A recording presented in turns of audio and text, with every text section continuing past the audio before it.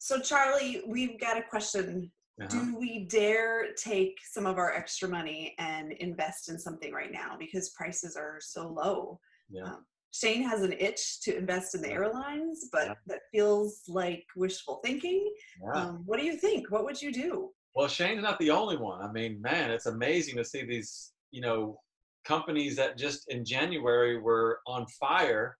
And now here we are talking about are these companies going to declare bankruptcy? I mean, I, I hope no airline has to do that, but you know, that's the one of the things that we got to think about. And Kevin and I are not uh, fans of individual stocks mm-hmm. um, because of that reason. We just don't know, especially in this time right now. The airlines will survive, but that doesn't mean a company won't declare bankruptcy and then your investment go to zero. So that's the risk with individual stocks. Now, Lisa, what you know, you and I talked about was, well, hey, how about we buy a basket of stocks? Yeah. So uh, an ETF, exchange traded fund that has that you can even specialize in airline stocks. I, don't know that I would even do that just yet.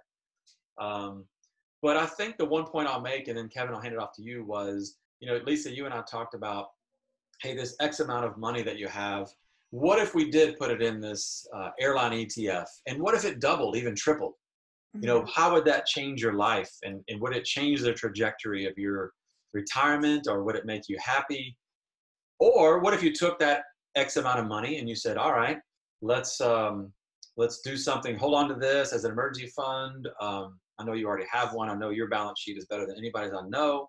But anyway, uh, you know, what other things could we do with this that could also change our lives or make us feel better? So those are kind of the ways that I think about it. That's very non-scientific, but I just think a lot of times when we're scratching the itch, it's not going to be a game changer in the big picture unless we just took everything we had, put it all on black, so to speak, and maybe we'll get lucky. But that's not investing. That's not what we do. Yeah. so yeah. So that's, that's, we go to Vegas for that kind of stuff. But Kevin, what do you think? Yeah, well, I'll even be less scientific here because I think um, you know this is a visceral visceral reaction that many people have when they see the markets go down.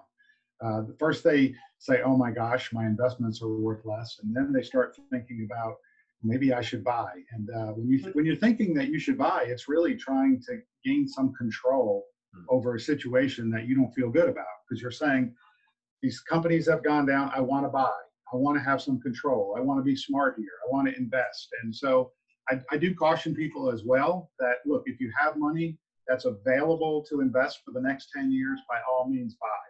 And, uh, you know, we always think it's a good time to buy. Now it's a particularly good time if you have a 10 year time horizon. But when it comes to taking cash and putting it in the market uh, and going all in, or, or like Charlie said, betting on red or black, I don't think that's the way to think about it. But I do think it's a good idea to buy companies when they're lower. Mm-hmm.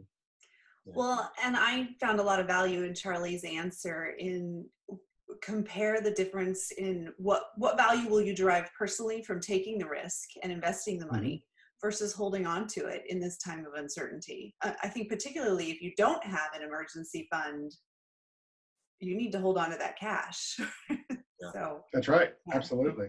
Keep yeah. that in mind as well. Yeah, and, and I don't think there's anything wrong with scratching the itch, so to speak, like you said, Kevin. It's just that you got to make sure, a, it's not money that you know you need to have for some other purposes because you could lose that money, absolutely. And I remember having a conversation about American Airlines and with another pilot, they said American will never go out of business or declare bankruptcy because they have so many, you know, all the holdings that they have. I don't even know what that was 10 years ago, but then they declared bankruptcy and and whoever you know your investment goes to zero and so that's the that's the tough part about it yeah and i do think uh, if you're gonna if you're gonna buy something as charlie said buy, buy a fund you can actually see what are the top 10 holdings in a fund and it's it's it's actually more exciting to go ahead and buy a fund when you see which companies you're buying like amazon and google and um, you know and and and there might be an airline it might not be in the top 10 anymore but uh, there are uh, great companies that are in these funds. So if you want to buy something, let's take a look at the companies that are in that fund.